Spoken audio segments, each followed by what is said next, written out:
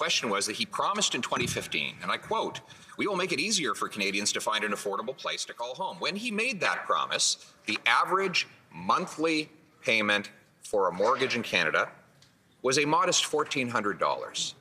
What is it today? Right Honourable Prime Minister. Of course, situations vary across the country, but we have stepped up uh, with housing programs in uh, big cities like Vancouver, Toronto, Montreal, but we've also stepped up in smaller municipalities and rural areas across the country that need supports in housing. Unlike the previous Conservative government that didn't feel the federal government had any role to play in housing, we stepped up in tangible, concrete ways uh, to deliver more housing, to deliver rapid housing, to deliver uh, programs that fought homelessness, uh, that programs that increase uh, the rental stocks. We will continue to be investing to support people alongside our partners in the provinces and municipalities. Leader of the Opposition. He wants to compare with the Conservative record. I gave him a chance. I told him when the Conservatives left office, the average monthly payment on a new house was $1,400. I asked him to tell us what it is today. Either he doesn't know or he's too afraid to admit, but it's gone up to over $3,100. That's over a 100% increase. When the Prime Minister took office, a two bedroom apartment in Canada's 10 biggest cities, on average, was $1,100. How much is it today? The Right Honourable Prime Minister.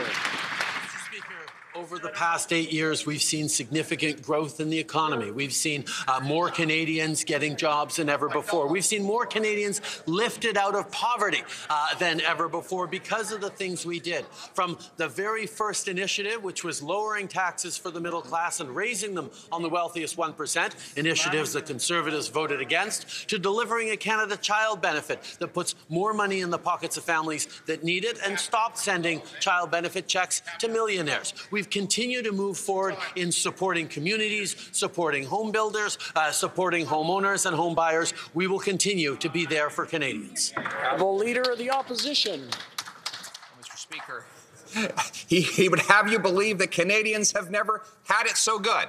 Uh, well, ask the 9 and 10 young people who believe they will never own a home, the 35 year olds living in their parents' basements because they can't afford the new doubling of the average down payment, mortgage payment, or rental costs. And speaking of paychecks, when he took office, the average paycheck, you only needed 39% of the average paycheck to, uh, to, to, make monthly payments on the average house. That number has risen to 62%.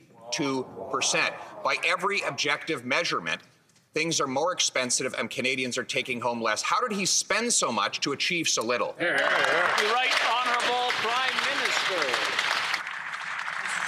across the country, we've seen record gro job growth. We've seen record number of Canadians lifted out of poverty. We've seen uh, investments to fight climate change that have put more money in people's pockets. We've continued to move forward in growing the economy. But it is only, Mr. Speaker, uh, the Conservative leader trying to say Canadians have never had it so good because we know Canadians are struggling. And that's why we continue to step up uh, with investments in dental care, investments uh, in low-income rental supports, two initiatives that the Conservatives voted against. We will continue to be there to deliver for Canadians while we deliver a better future for everyone. Here, here. Leader of the Opposition. He's trying to talk about everything but the housing questions I asked. And it's easy to understand why.